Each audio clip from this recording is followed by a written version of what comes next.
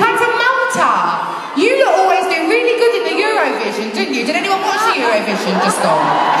Oh my god, I loved it. I love that winning song as well.